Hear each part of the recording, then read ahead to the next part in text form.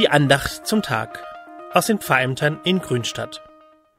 Siehe, der Hüter Israels schläft noch schlummert nicht. Hier spricht Ulrich Konrad aus Kirchheim. Drei Uhr in der Nacht. Ich liege wach in meinem Bett und komme nicht zur Ruhe. Kopfkino. Kennen Sie das? Tausend Gedanken gehen mir durch den Kopf. Ein Blick auf den Wecker. Um 6.30 Uhr muss ich wieder aufstehen und der erholsame Schlaf will einfach nicht kommen. Am Abend davor, nach der Arbeit, hatte ich noch etwas ferngesehen. Während der Sendung bin ich eingeschlafen und dann ins Bett gegangen. Eigentlich müde genug, um gleich weiter zu schlafen. Aber dann im Bett wieder Kopfkino. Und vorbei war's mit der Müdigkeit. Also hoffen auf ein erprobtes Mittel, um einzuschlafen. Ich nehme mir ein Buch und beginne zu lesen. Die Augen werden langsam müde und die Buchstaben beginnen zu verschwimmen. Buch weglegen und Licht aus.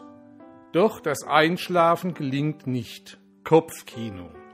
Tausend Gedanken halten mich wach.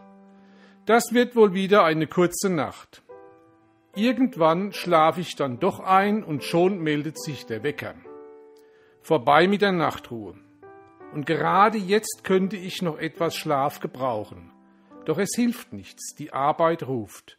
Also Frühstück, der Kaffee tut gut und da steht auch schon unser Hund vor mir. Stella will raus, sich entsorgen. Das klappt wie immer meist schnell. Ich bringe meiner Frau noch einen Kaffee und verabschiede mich bis zum Abend. Ganz plötzlich, wie aus heiterem Himmel, erinnere ich mich an ein Lied aus dem Gesangbuch. Die Strophen kommen mir in den Sinn, und wie ich so in Gedanken vor mich hinsinge, merke ich, das passt. Ein Lied gegen das Kopfkino.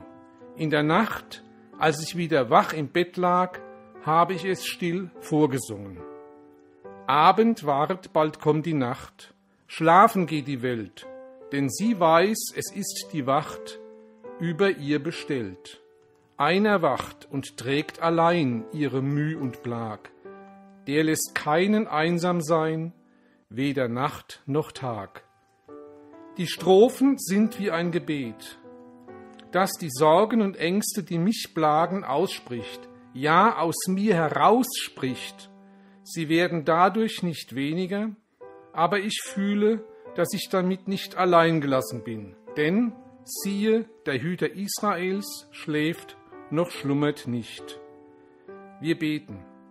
Guter Gott, du bist da, immer, am Tag und in der Nacht auch dann, wenn wir uns verloren fühlen, wenn wir gefangen in unseren düsteren Gedanken sind. Dein Wort will uns daraus befreien. Hab Dank dafür, dass wir das immer wieder erleben dürfen. Danke für die Menschen, die in wunderbarer Weise solche Worte des Trostes in Verse fassen können. Danke für die Menschen, die dazu eine schöne Melodie finden. Amen. Seid gesegnet der Herr segne euch und behüte euch. Der Herr lasse sein Angesicht leuchten über euch und sei euch gnädig. Der Herr erhebe sein Angesicht auf euch und helfe euch und der ganzen Welt zum Frieden. Amen.